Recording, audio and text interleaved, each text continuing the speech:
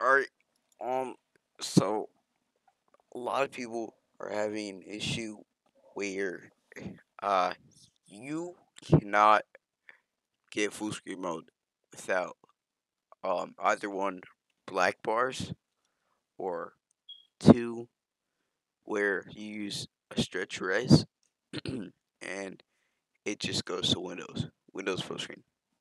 So for the first problem, you're gonna right click your desktop. You're gonna go to NVIDIA control panel. Um, see if it loads. Yeah, there you go. So I'm gonna go to display.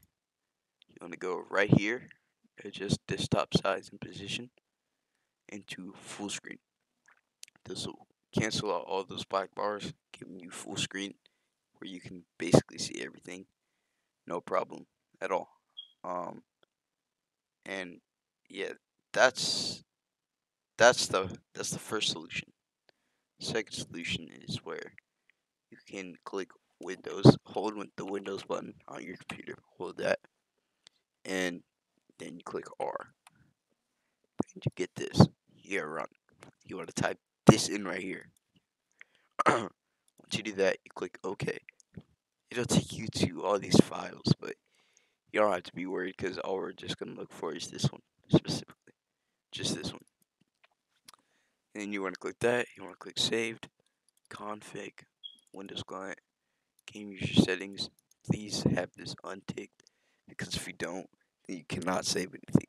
It'll it like whenever you try to, it'll just pop up and say no, you can't save it. Anyway, yeah. So um yeah.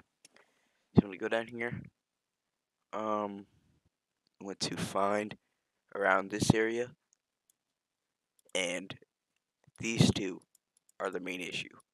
Put these two to zero. They should, if if you're having this problem, they should be at one.